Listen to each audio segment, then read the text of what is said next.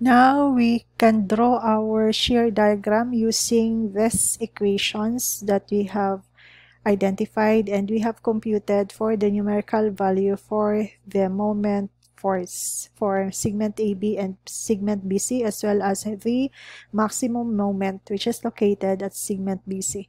So to start, we're going to have here at 0 at point A. So of course, we're going to start at 0 then we have moment AB. So towards this point, so this is our segment AB. So we're going to have here that one. So this is 208. So we have here 208.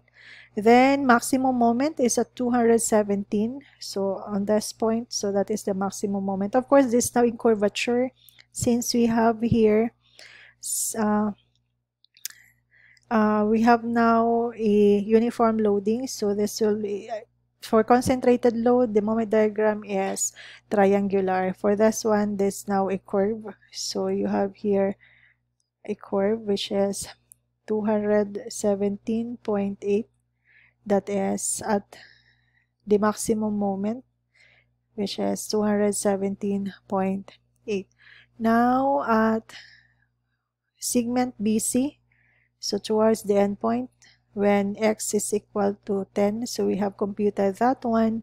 So the result is 0. So you're going to have, you're going to drop this to 0. So we have now our moment diagram.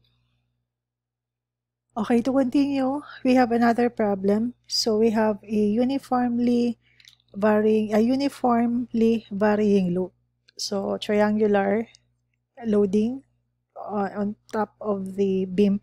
So for this one, we're going to cut this. So if we're going to section this one, so basically this is unknown in this portion. So basically you have this, the cut section. So this is a cantilever beam. So you're going to have here, this will be Y. and this is actually your x. The distance from the left portion towards the cut section is your x.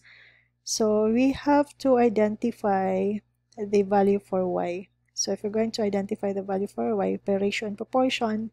So this one over this this triangle over this uh, original triangle. So this would be y all over x is equal to so this one, basically, this was based on the given W sub O. So this will be uh, W sub O all over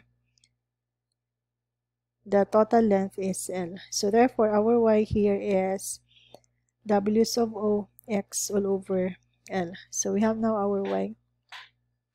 Then if we're going to have your uh, the force here, since if we're going to have the shear uh, equation, for the shear equation, so basically our shear equation for this is equal to, so you have V, which is we only one, you only have one segment for this given problem.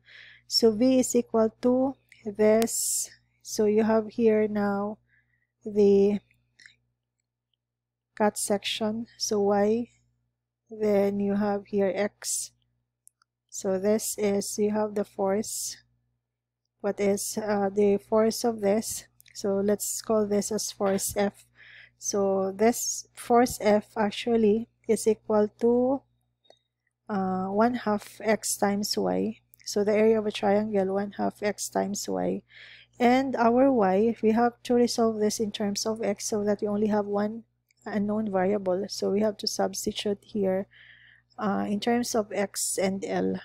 So, so we have to substitute our uh, value for y. We have computed that a while ago. So 1 half x times w sub o x all over L. So simplifying further, this is equivalent to w sub o x squared all over 2L. So this is our F. So basically our shear equation, summation of force vertical.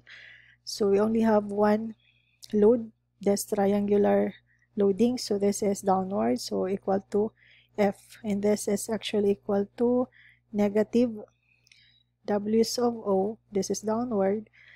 x squared all over 2L. So we have now our uh, shear equation. Now for our moment equation, for the moment equation, we simply have to uh, identify now. So moment here is equal actually to uh, this one F, force F times in triangular loading, the force, for uniform loading, the force is acting at the centroid half midway of the uniform loading. However, for triangular loading, the centroid of this is acting at one-third from this portion. So, this will be equivalent to, this will rotate in a negative clockwise direction, so negative